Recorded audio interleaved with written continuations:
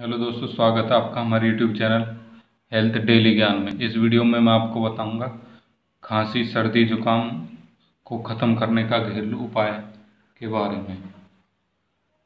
तो आइए शुरू करते हैं। ये जो उपाय है, ये आपको घर पर ही मिल जाएगा। आपको एक भी पैसा खर्च करने की या दवाई लेने की ज़रूरत नहीं है। तो क्या क्या है? सबसे पहले अदरक है। बाद में मैं आपको बताऊँगा कैसे कैसे बनाना हल्दी, चूना दालचीनी, किशमिश, मेथी दाना, काली मिर्च, तुलसी का पत्ता।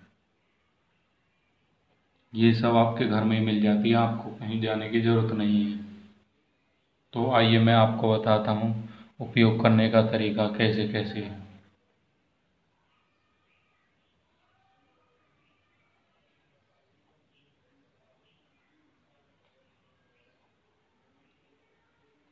तो सबसे पहले तरीका है अदरक का रस निकाल लें उसे हल्का सा गरम कर लें। अब उसमें शहद मिलाकर पी लें। अब आप पूछेंगे, मात्रा कितनी रखनी है? आधा चम्मच। अदरक का रस। और आधा चम्मच शहद।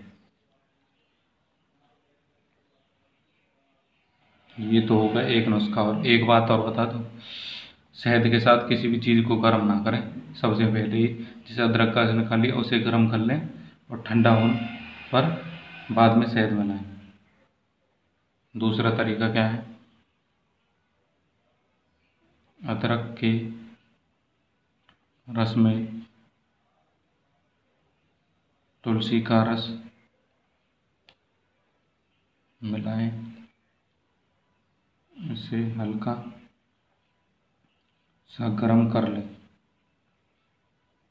मात्रा पहले बता दो, अदरक के रस लेना आधा चम्मच।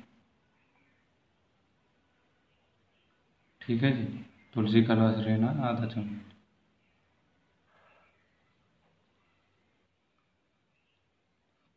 अब इसमें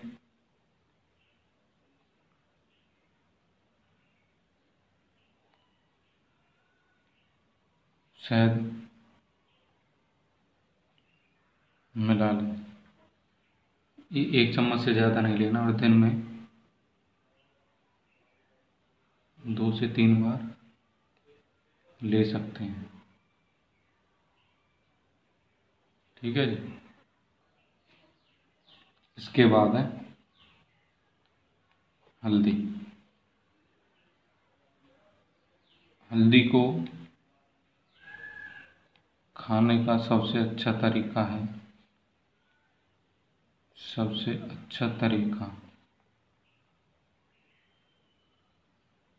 तरीका है दूध के साथ। दूध में आधे से कम चम्मच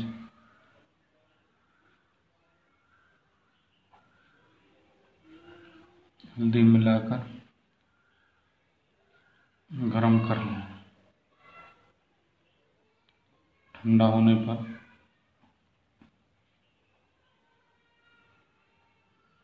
पी लें। ठीक है जी, दूध नहीं है तो पानी के साथ भी इसे ले सकते हैं। यदि किसी का गला बैठ गया है तो क्या करना है? उसके लिए आधा चम्मच से कम हल्दी।